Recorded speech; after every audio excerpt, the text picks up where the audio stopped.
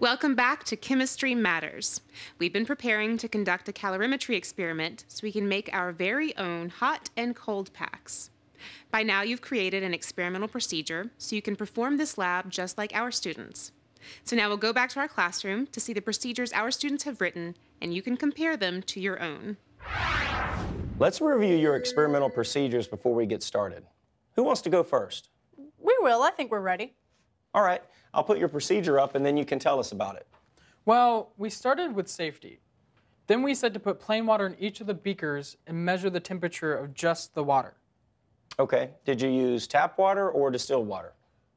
We hadn't really thought about it. Does it matter?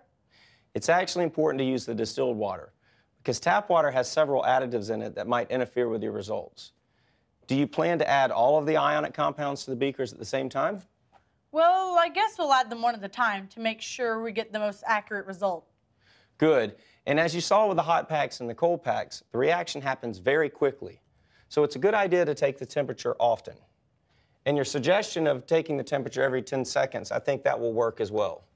And I also like the layout of your data table here. It's important to be prepared to record your data before you start an experiment.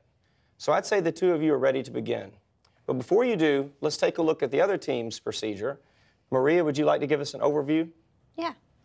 Well, we made a list of materials first, so it would be easier to get organized. I see that. Good idea. And we thought the amount of distilled water should be accurate, so we decided to use a graduated cylinder. You're right, Maria. The temperature change depends directly on the quantity of water, so it's important to measure the amount of water precisely. Team one, you should use a graduated cylinder as well. We forgot to make a data table, though, but we wrote out our procedure. Okay, well, you can make a data table now, and then I think both teams will be ready to start the experiment. When you're done, analyze your data and get prepared to give us your conclusions about which ionic compound is most suitable for a hot pack and which one is most suitable for a cold pack. Okay, we need to weigh five grams of calcium chloride. I'll measure it out and with the scoopula and use the electronic balance. Don't forget to zero it first.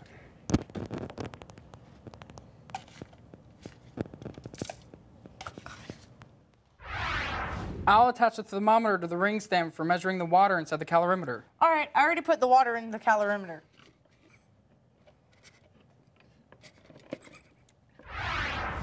Looks like we're ready. Let's add the 5 grams of potassium chloride to the water in our calorimeter. Great. And I'll tighten the lid as quickly as I can for accuracy. Can you hold that for me?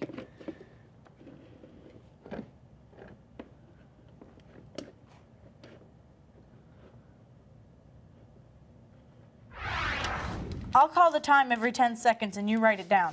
Let's get the starting temperature first. 20 seconds? 25.2. 30 seconds? 26.4. Analyzing your data and drawing conclusions based on your data is just as important as conducting the experiment. It's important to organize your data in a way that will allow you and others to observe trends and patterns. You may choose to present your data in your original data table, or you may decide that a graphical presentation is more informative. Regardless of how you organize and present your data, you'll need to draw a conclusion based on your data that addresses the original experimental goal, which is to design an effective hot pack and cold pack. Be prepared to justify your conclusion, again, using your data.